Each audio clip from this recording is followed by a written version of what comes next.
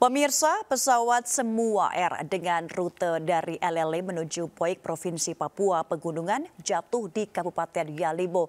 Pesawat ditemukan dalam kondisi hancur dan terbakar.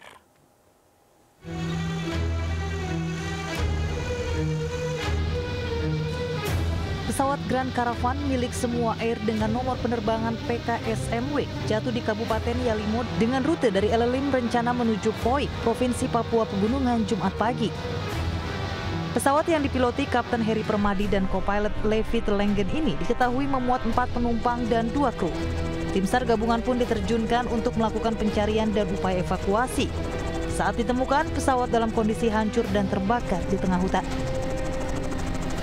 Setelah kami berkoordinasi dengan pihak Wamena, dengan teman-teman dari PT Intan Angkasa, ternyata tidak bisa melakukan evakuasi menggunakan helikopter yang tadi digunakan untuk pencarian. Oleh sebab itu, saat ini kami akan rencana untuk berkoordinasi dengan pihak Lanusilas Papare untuk melaksanakan evakuasi menggunakan pesawat.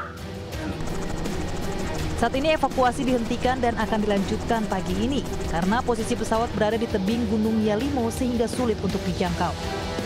Sementara penyebabnya jatuhnya pesawat masih dalam penyelidikan. Dari Papua, tim liputan melaporkan.